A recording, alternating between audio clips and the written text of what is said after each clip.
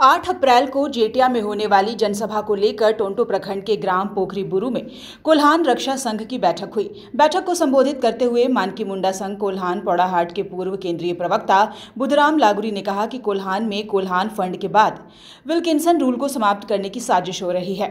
इसे बचाए रखने के लिए कोल्हान रक्षा संघ किसी भी हद तक जा सकता है। उन्होंने कहा कि आगामी आठ अप्रैल को जेटिया थाना अंतर्गत ग्राम चेतन कुंद्री झोर में संघ की ओर से आयोजित जनसभा में कोल्हान रक्षा संघ के केंद्रीय अध्यक्ष माइकल तीरिया, महासचिव नूनाराम मांझी, विक्रम बोईपाई, चोकरो सिद्धू, अनंत तुबित समेत कई कार्यकर्ता मौजूद होंगे। बुधुराम लागुरी ने कहा कि जनसभा में कोल्हान में विल्किंसन रूल को सख्ती से लागू करने की मांग को लेकर रणनीति बनाई जाएगी। साथ ही लोगों को इसकी पूरी जानकारी भी दी जाएगी। कोल्हान का जो समस्या है, कोल्हान में एक साजिश के तहत कोल्हान फंड को खत्म किया गया है। और कोल्हान का विल्किसन रूल को भी एक साजिश के साथ हटाने का प्रयास हो रहा है। विल्किसन रूल को खत्म करने का प्रयास हो रहा है। मानकी मुंडा व्यवस्था को खत्म करने का प्रयास हो रहा है।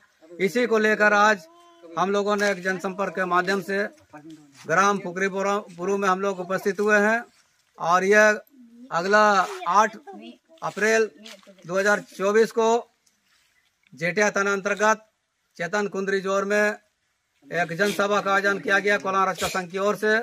इसमें सभी को आमंत्रित करने के लिए आज हम लोग एकत्रित हुए हैं। और हमारे कोलान के सभी गाँव से हज़ारों के संख्या में लोग वहाँ मौजूद होंगे, उपस्थित होंगे।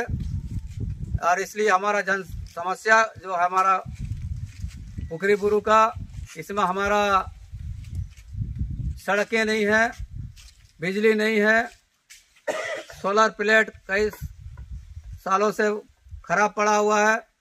प्रशासन इस ओर नहीं ध्यान दे रही है। दूसरी बात, यहाँ पीने का पानी के लिए समस्या है, लोग यहाँ जूझ रहे हैं।